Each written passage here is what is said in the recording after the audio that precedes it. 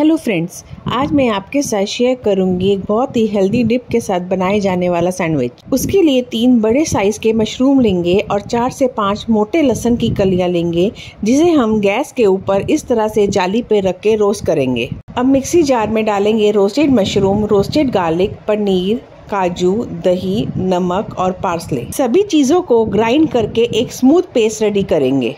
तो लीजिए रेडी है हमारा मशरूम गार्लिक डिप जिसे हम कई तरह के सैंडविचेस के लिए यूज़ कर सकते हैं। हम बना रहे हैं वेजिटेबल सैंडविचेस जिसके लिए हम लेंगे टमाटर बेल पेपर्स कैप्सिकम और उसमें हम मिलाएँगे अपनी मशरूम गार्लिक डिप और साथ में पेरी पेरी पाउडर और सभी चीज़ों को आपस में मिक्स कर लेंगे। तो लीजिए रेडी है हमारी स्टफिंग अब हम एक ब्रेड का स्लाइस ले लेंगे और उसमें बटर को अच्छे से फैला लेंगे। उसके ऊपर हम लगाएँगे सैलड लीव्स और उसके ऊपर टॉपिंग करेंगे अपनी स्टफिंग से। और फिर एक और ब्रेड का स्लाइस लगा के इसे तवे के ऊपर रोस्ट करेंगे।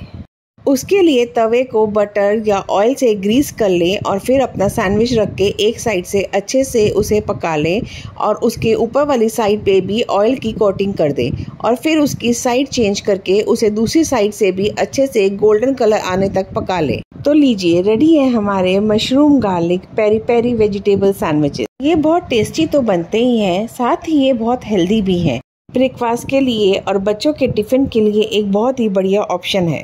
रेसिपी पसंद आई हो तो लाइक करें और चैनल को सब्सक्राइब करें।